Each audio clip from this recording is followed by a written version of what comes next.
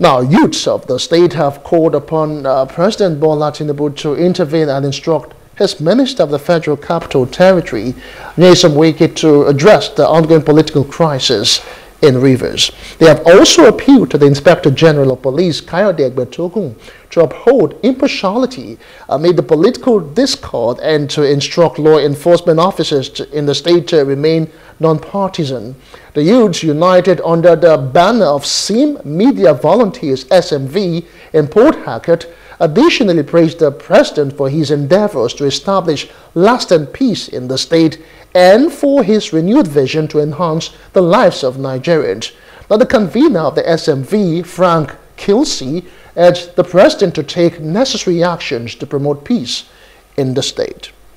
Aware of this positive development, we as the youth of the state congratulate His Excellency and his formidable team as his commitment to the advancement of our state has fundamentally opened up the space and the state as investment destination.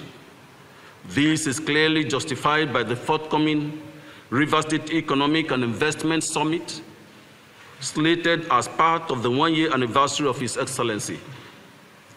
It is obvious that detractors may not acknowledge this bold step that has eluded the state in the past. But with cutting-edge leadership imbued in fortified strategic procedures, our state is about to witness another season of economic prosperity, particularly commending his tireless efforts in improving the state's internally generated revenue, IGR, from 12 billion to an unprecedented 27 billion within a year of his administration.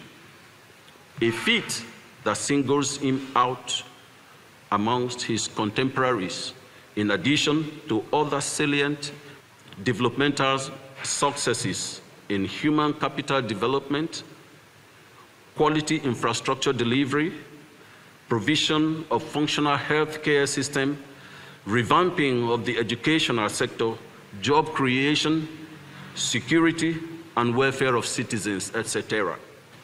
We further seize this opportunity to commend the President Bola Ahmed Tinubu for his painstaking efforts at actualizing the renewed hope agenda for the nation.